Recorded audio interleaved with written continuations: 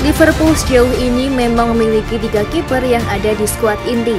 Akan tetapi, setiap kali sang kiper utama Alisson Becker cedera atau absen, kerap kali bencana bakal mendatangi Liverpool. Masih segar dalam ingatan bagaimana kiper kedua Liverpool, Adrian membantu Aston Villa menang Liverpool dengan skor 7-2. Tak pelak, hal itu pun membuat pelatih Jurgen Klopp pusing karena merasa tak punya kiper cadangan mumpuni. Untunglah, Klopp berani melakukan perjudian dengan memainkan Choi Min Kelleher sebagai kiper utama ketika Alisson Becker cedera di match kelima Liga Champions. Soalnya, Kelleher berhasil membuat klub akhirnya bisa duduk tenang. Ketenangannya dalam mengantisipasi semua serangan lawan cukup ampuh untuk membuat Liverpool clean dalam dua laga yang telah ia mainkan. Ternyata Liverpool masih belum puas dengan mencoba untuk menggerakkan lagi dengan cari kiper muda baru. Hadapannya, sang kiper ini bisa menjadi calon pengganti Alisson Becker suatu hari nanti.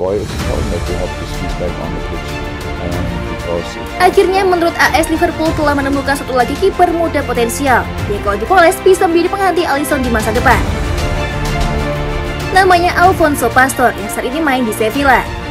Ternyata, Pastor ini pernah merasakan gelar juara Liga Eropa. Tepatnya musim lalu bersama Sevilla, di mana pada laga final sukses mengalahkan Inter Milan. Ditambah beberapa pertimbangan lain bukan tak mungkin jika kiper yang satu ini bakal ditatangkan Jurgen Klopp dan memperkuat benteng Reds. Nah, buat yang penasaran sama aksi Alfonso Pastor, Nah berikut ini, kami bakal kasih cuplikan aksi-aksi terbaik dari Alfonso Pastor. the game. Blackman's done good squad, the depth is there.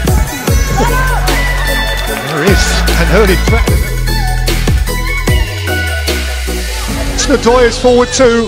Pulisic went himself, and the goalkeeper.